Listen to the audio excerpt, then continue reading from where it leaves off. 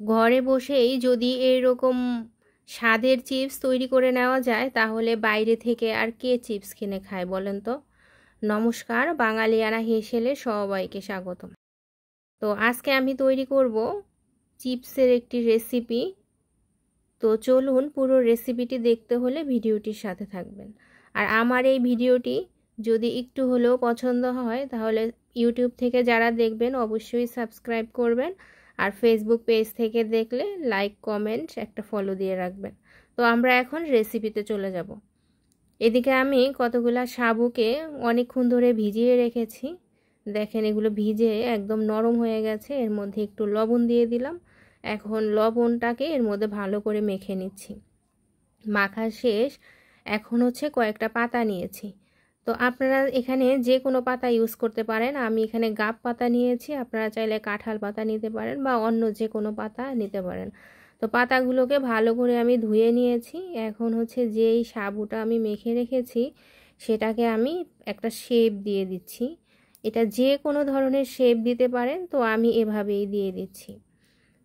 তো এভাবে করে আমি একদম পাতলা করে যাতে একটা একটা মানে সাবু একদম একটার উপরে যাতে একটা না থাকে। এরকম করে আমি একদম পাতলা করে একদম ছড়িয়ে দিচ্ছি।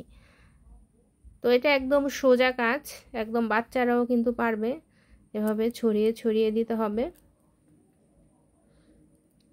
তো আমি এইভাবে বিভিন্ন ধরনের শেপ করে নিয়েছি, প্রথমে এভাবে করেছি, এখন হচ্ছে গোল গোল করে দিচ্ছি। এটা একটু ছোট ছোট করে দিয়ে দিচ্ছি। আর খুব দ্রুত কোনো ঝামেলা নাই এভাবে দিয়ে দিচ্ছি। আর বাচ্চাদের কথা তো বলতেই নেই, বাচ্চারা তো চিপস দেখলে পুরো পাগল হয়ে যায়। আর বাইরের প্রসেসিং করা চিপস তো স্বাস্থ্যের জন্য কতটা ক্ষতিকর সেটা তো আপনারা সবাই জানেন। তো এভাবে করে নিয়েছি। এখন আমি গরম পানি বসিয়ে একটা স্ট্যান্ড দিয়ে দিলাম। দিয়ে দিচ্ছি ঘন গরম পানির মধ্যে। এভাবে বসিয়ে দিলাম। এখন হচ্ছে ঢাকনা দিয়ে এটাকে বেশ হাই হিটে জাল দিব। যে গরম পানির যে ধোয়াটা উঠবে, সেটা হচ্ছে এই সাবুটা সিদ্ধ হয়ে যাবে। দেখেন, সিদ্ধ হয়ে একদম সাদা হয়ে গেছে। তো আবার দেখি একটু বাকি আছে, আবারও ঢাকনা দিয়ে দিলাম। এবার সিদ্ধ, আবার ঢুক দিয়ে এবার পুরোপুরি সিদ্ধ হয়ে গেল। এবার হচ্ছে এটাকে নামিয়ে নিব। তো নামিয়ে আবার যেগুলো বাকি ছিল, ওইভাবেই আমি আবার দিয়ে দিচ্ছি। তো এভাবে করে আবার ঢাকনা দিয়ে দিব। একই প্রসেস তো দেখেন আমি এভাবে করে অনেকগুলো কিন্তু ভাব দিয়ে নিয়েছি। আর ওইদিকে হচ্ছে ওই বাকিগুলো সিদ্ধ হচ্ছে। দেখেন এইগুলো কিন্তু হয়ে গিয়েছে। আরেকটাও করা যাবে, পানি যখন আমরা ভাত বসাবো এর উপরে দিলেও হবে। পরে বুদ্ধিটা আসছে আমার, তাহলে আর আলগা করে আর জাল দিতে হয় না। ভাতের উপরে বসিয়ে দিলেই হয়ে যায়। তো এখন হচ্ছে এগুলোকে আমি কড়া রোদে শুকাতে দিব। তো কড়া রোদে শুকানোর পরে আমার তিন চার দিন লেগেছে শুকাতে।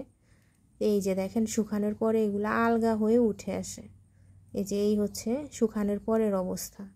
আমি কিন্তু কড়া রোদে শুকিয়েছি তিন চার দিন সময় নিয়ে। এই যে শুকানোর পরে উঠে এসেছে।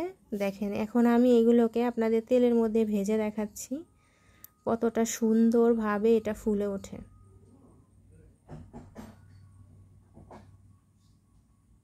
এই যে কতটা সুন্দরভাবে আমার চিপসগুলো হয়ে যাচ্ছে। দেখেন। তো এভাবে করে আমি ভেজে নিচ্ছি সত্যি কথা বলতে। মানে যখন চিপসটা ফুলে উঠেছে আমার খুবই আনন্দ লেগেছে কারণ আমি নিজে তৈরি করেছি।